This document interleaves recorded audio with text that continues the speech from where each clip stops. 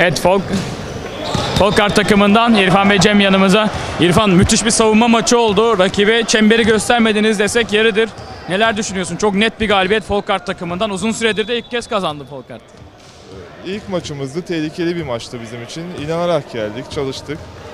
Tabii sonuç bizi mutlu etti. Pandemiden sonra da güzel bir etkinlik oldu bizim için iş, iş hayatından sonra. Burada eğlenip güzel vakit geçirmeyi planlıyoruz. Tek Pota Ligi ailesine teşekkür ediyoruz. Tebrik ediyoruz. Cem sen neler söyleyeceksin? Müthiş bir savunma maçı oldu. Senin de düşüncelerini alalım. Bu takım yeni bir oluşum içerisinde. Her arkadaş birbirini daha yeni tanıyor ama her hafta üzerine ekleyerek gidecek. Biz her hafta çalışıyoruz, her hafta taktikler belirliyoruz. Çok daha iyi günler bizi bekliyor ve bu ilk adım attığımız yolculukta sonuna kadar Folkart, sonuna kadar galibiyet diyeceğiz. Teşekkür ediyoruz. Bol şans sonraki maçlarda. Sağ olun.